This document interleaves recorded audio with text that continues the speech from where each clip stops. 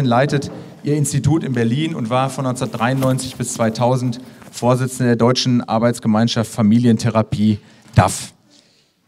Mit der Einladung zu diesem Vortrag ist die Idee verbunden, dass die alltägliche Wirklichkeit von Kindesmisshandlung, Kindestötung und schweren Gefährdungen des Kindeswohls in der systemischen Psychotherapie und in der sozialen Arbeit insgesamt mehr und besser verstanden werden und mehr Beachtung finden. Und äh, ein Hinweis des Tagungsveranstalters, den möchte ich gerne wörtlich zitieren, weil er auch noch ein paar Einblicke gibt. Zitat, ergänzend ist es wichtig darauf hinzuweisen, dass diese beschriebenen Ereignisse eben nicht nur durch die direkte Interaktion von Eltern gegen ihre Kinder erklärbar sind, sondern dass es eine Vielzahl von strukturellen Gründen gibt, die letztendlich die Kindeswohlgefährdung bis hin zur Kindestötung zumindest begünstigen. In der Forschung, die wir zu diesem Thema durchgeführt haben, haben wir in allen Fällen, in denen Kinder entweder schwerst geschädigt wurden oder sie zu Tode gekommen sind, wahrgenommen, dass komplexe professionelle Helfersysteme an der Versorgung dieser Familien beteiligt waren und trotzdem sind diese Katastrophen passiert. Nach unserem Verständnis ist es zu einfach zu sagen, dies waren die Eltern oder Jugendämter haben versagt. Solche Zuschreibungen lenken nur von dem wirklichen komplexen Bedingungsgefüge ab, das diese Realität der Schädigung von Kindern erklärt. Insofern herzlich willkommen, Frau Dr. Kohn. Ich darf Sie um den Vortrag bitten. Ja, danke. Und danke, Herr Schachowski, wo sitzt er gerade, äh, für die Einladung.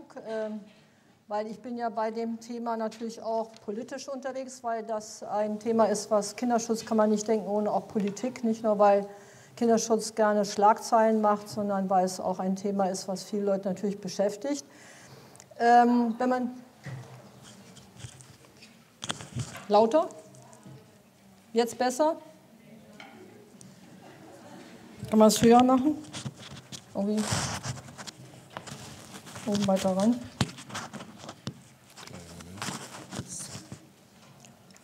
So, jetzt muss ich erstmal Test machen. Jetzt besser?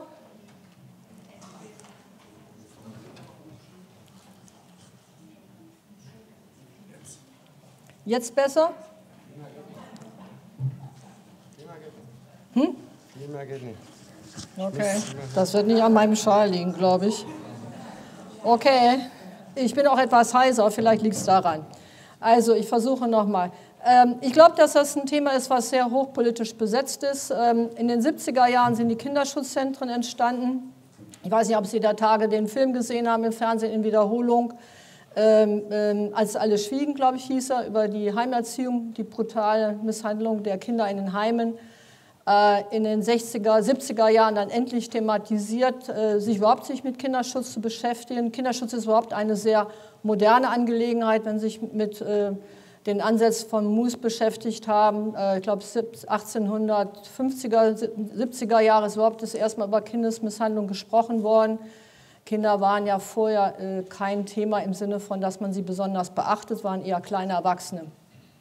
Die Entwicklung hat ja dazu geführt, und das habe ich selber in den 80er Jahren gut miterlebt, dass ähm, man äh, sich sehr mühen musste, dass unter anderem Jugendamt, Sozialarbeiter, aber auch andere Helfersysteme überhaupt hingeguckt haben und bereit waren zu sehen, was mit Kindern passiert.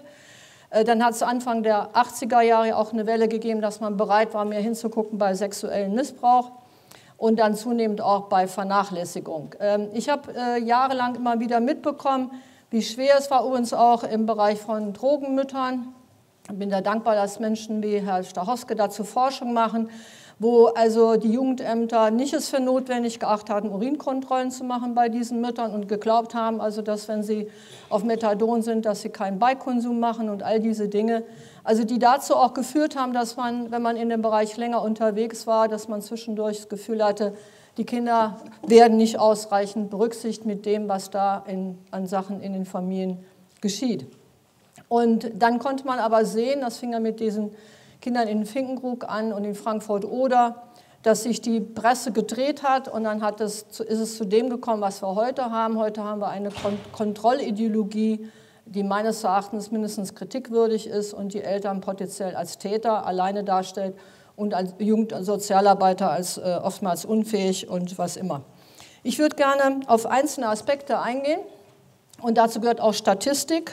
Und ich muss leider aus Zeitgründen einiges überhapsen, aber wie Sie sehen können, äh, es gibt verschiedene Ebenen, auf denen äh, man statistisch erfassen kann, wenn Kinder zu Tode kommen. Und ich möchte gerne äh, zusammenfassend sagen, also 2012, ich habe äh, diese Zahlen genommen, weil Zockers sich auf das Jahr 2012 bezieht. Ich weiß nicht, ob Sie das Buch kennen. Ähm, Deutschland misshandelt seine Kinder. Ein Skandalbuch, was ja viele Schlagzeilen gemacht hat und zu einem regelrechten Bashing von allen möglichen beteiligten Helfersystemen geführt haben.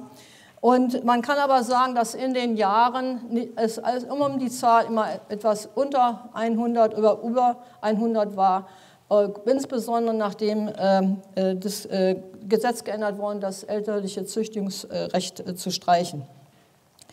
Ähm, ich habe mir noch ein paar weitere Zahlen zusammengetragen, die polizeiliche Kriminalstatistik.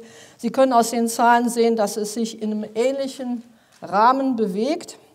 Und wie das so ist mit allen Statistiken, die sind natürlich davon abhängig, also wie zum Beispiel das Anzeigeverhalten aussieht, die Kontrollintensität der Polizei oder auch was äh, die Bewertung dessen, was eine Straftat ist. Zum Beispiel gibt es ein ziemlich deutliches Nord-Süd-Gefälle. Im Süden, Bayern und Baden-Württemberg, äh, ist die höhere Zahl von zwei vollkommenem Sorgerechtsentzug als in anderen äh, Bundesländern und, und Saarland auch noch.